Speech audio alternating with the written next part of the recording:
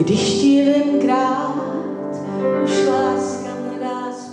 sobotu sa uskutočnilo slávnostné podujatie pri príležitosti 140. výročia založenia dobrovoľného hasičského zboru v meste Holíč. Oslav sa zúčastnili aj hasiči zo Srbska z mestečka Hložany. Po úctení pamiatky všetkých zosnulých hasičov a hasičiek dobrovoľného hasičského zboru v Holíči minútou ticha nasledovalo zaspomínanie na históriu a vznik dobrovoľného hasičstva v meste Holíč. Staré ľudové porekadlo vraví, oheň je dobrý sluha, ale zlý pán. Dokazuje múdrosť našich predkov. Z histórie vieme, že boj proti požiarom nie je žiadnou novinkou, lebo dokáže rýchlo ničiť jeho plamene často pohltia to, čo človek dlho budoval a tvoril. Práve tu si ľudia uvedomovali, že sa treba pred požiarmi a ich nebezpečenstvom chrániť, a to predovšetkým kolektívnou svojpomocou a začali sa preto združovať, aby organizovane bojovali proti požiarom a iným živlom. Túto udalosť okrem iných prijali aj primátor mesta Holíč Zdenko Čambal, primátorka mesta Skalice Olga Luptáková a v neposlednom rade starosta miesta Hodonín Libor Střecha. Vždy hovorím, že dobrovoľníctvo je najvyššia forma humánnej činnosti v živote ľudí. Čo sa týka toho dobrovoľníctva, vnímam také dve organizácie. To sú vždy tí dobrovoľní hasiči v našich obciach a mestách, a samozrejme aj entita darcov krvi. To je pre mňa ten najvyšší vrch. Nasledovalo oceňovanie členov dobrovoľného hasičského zboru Holíči. Udelovali sa čestné uznania za aktívnu činnosť a plnenie úloh v oblasti ochrany pred požiarmi, medaily za vernosť desiatich rokov, medaily za príkladnú prácu, medaily za zásluhu, medaila svätého Floriána 3. stupňa, medaily za zásluhy či pamätné plakety.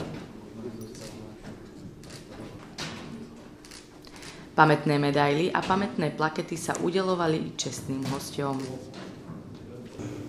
Dobrovolnictví je opravdu krásná věc a když se naplní opravdu s družbou a s partnerstvím, tak to dostává ještě jiný rozměr.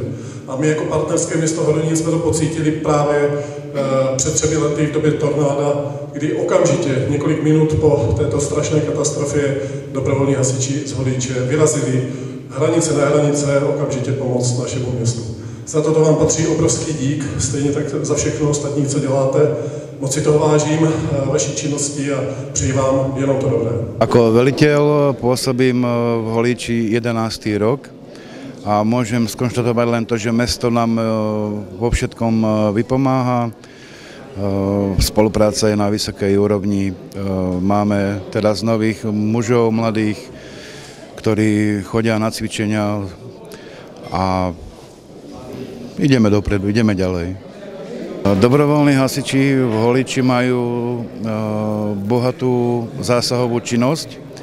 Ako bolo už spomenuté, tornádo v Hodoníne, veľké rozsiahle požiary lesov a som na nich hrdý, že podávajú takéto obrovské výkony. Oslavy pri príležitosti 140. výročia založenia dobrovoľného hasičského zboru v Holíči pokračovali v nedelu v areáli zámku. Hasiči si pre verejnosť pripravili zaujímavý, ale i edukatívny program.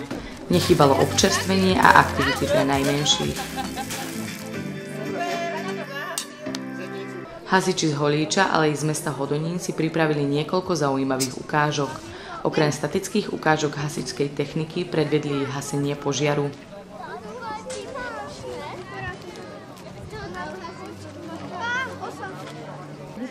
Nesmíš nikdy podvíš?